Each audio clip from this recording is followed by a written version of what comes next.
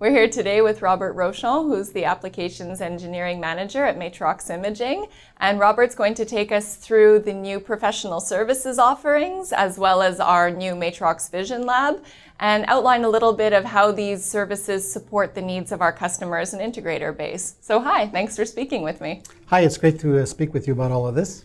I've been hearing a lot about these professional services. Can you outline a little bit more about what they entail? Absolutely. So these uh, technical services are planned services that go beyond standard technical support and supplement customers' existing resources. These uh, professional services include application feasibility, um, personalized trainings, optimizing, and even some lighting recommendations, just to name a few.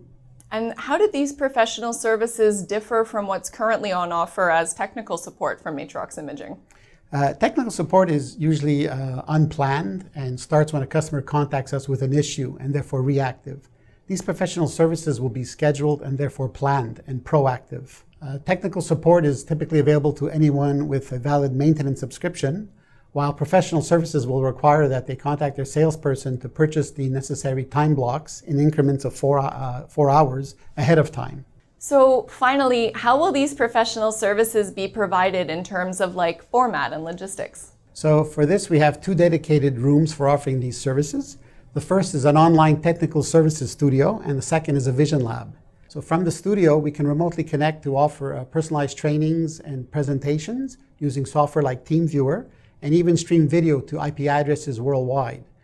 From the lab, we can image and analyze customer supplied parts using equipment from lighting and optics suppliers. Since these professional services will require a lot of one-on-one time, which will be significant, they will all need to be planned uh, at least a week or so ahead of time.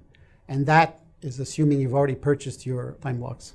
So to summarize then, then these Matrox imaging professional services really are purchased, planned, personalized, and proactive. So we just have to remember our P's. That's exactly it. All right. Thank you so much for taking the time to speak with me, Robert.